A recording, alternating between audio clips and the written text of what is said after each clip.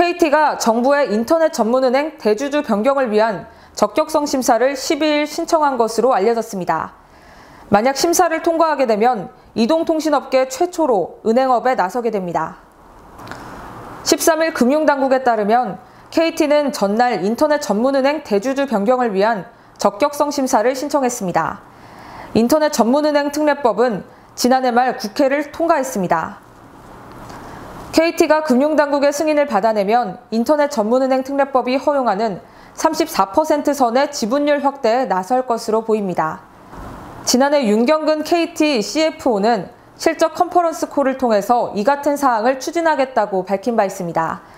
금융시장 혁신을 선도하기 위한다는 명목이지만 실질적으로 K뱅크 지배력을 강화해 수익을 더 가져가겠다는 계산입니다. 현재 K뱅크의 최대 주주는 우리은행입니다. 우리은행이 13.79%, KT와 NH투자증권이 10%, 한화생명보험 9.41%, GS리테일 9.26%, KG이니시스 6.61%로 구성됐습니다.